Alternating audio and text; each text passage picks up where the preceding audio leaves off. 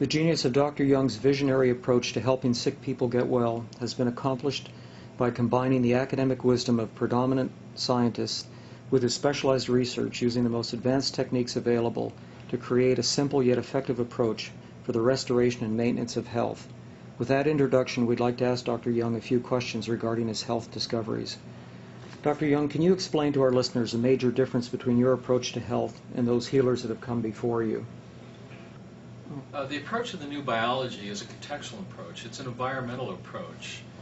Uh, rather than dealing with any specific disease, it really addresses the environment with this idea that the, human cell is only as healthy as the environment which it finds itself.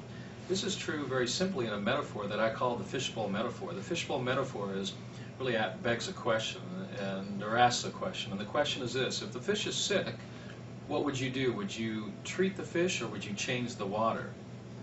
Now, as you think about that question, the obvious answer is, is well, Dr. Young, uh, of course, uh, you'd change the water. You wouldn't treat the fish. And yet, what would your doctor do?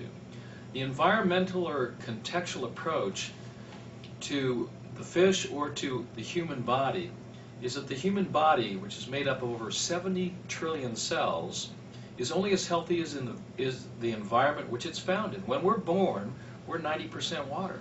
And upon death, we're probably close to 50% water.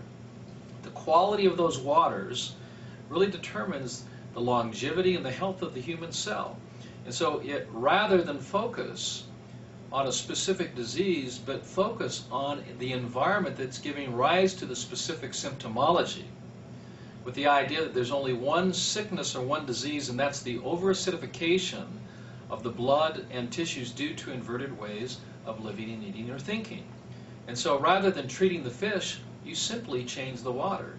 Rather than treating the disease or the disease, you start alkalizing the internal environment of the body, thus changing that environment, detoxifying that environment, and providing an environment that's conducive for health, energy, and vitality.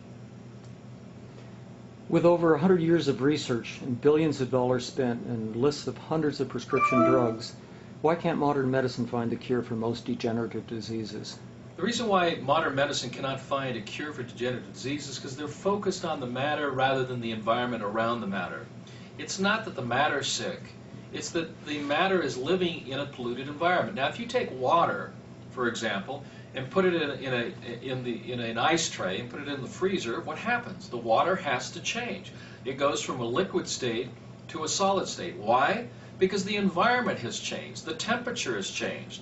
And within that temperature change, the molecules of the water have to adapt to that new environment. This is what happens to the human cell.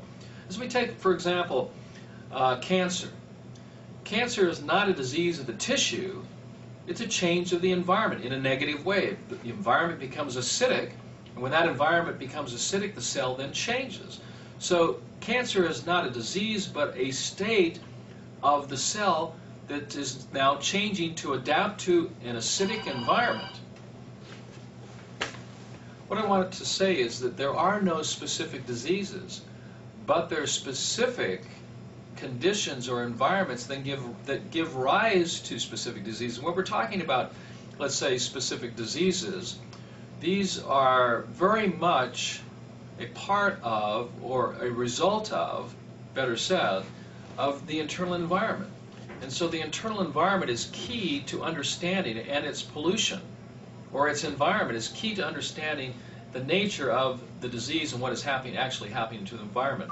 One of the best ways to understand this is many of us have, have over the last uh, few months have, have heard about global warming and acid rain and the devastation of acid rain or the pollution uh, of carbonic acids and various uh, sulfuric and phosphoric acids that are raining down on our forests or on our planet causing destruction. Well, the same thing is happening within us.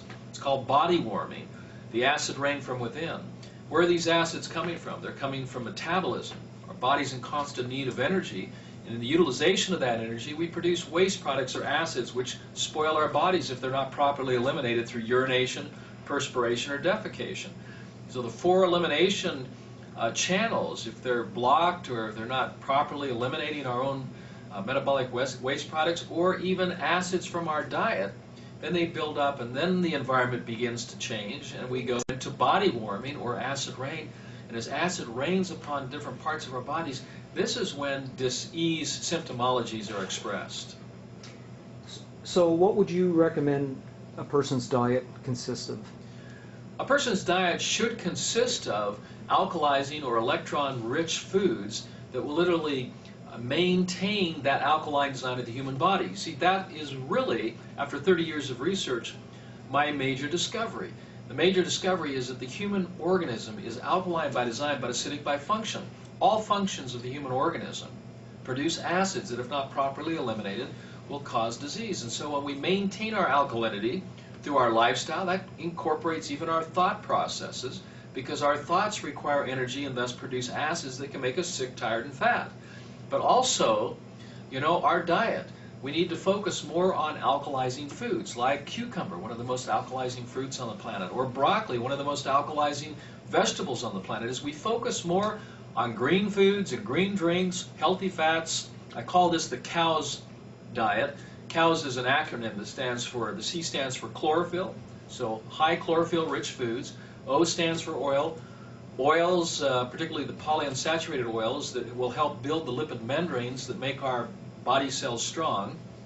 W stands for water, the right kind of water. That's alkaline water, not acidic water, because not all water is good to drink. It must have an alkaline, uh, alkalizing effect. Has a pH I recommend is about 9.5.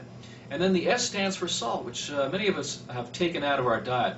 Most critical, there is a very important reason that, that our blood, our body fluids, are salted.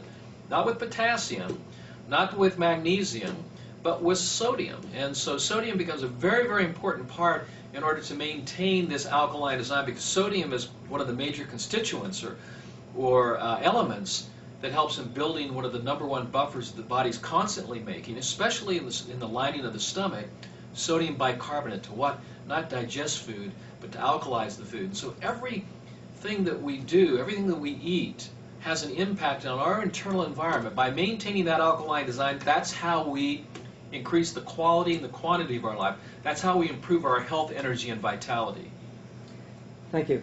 How does a person sub- subscribe to your email newsletter so they can benefit from your continuing research and take advantage of the health discoveries uh, to date that you've come up with?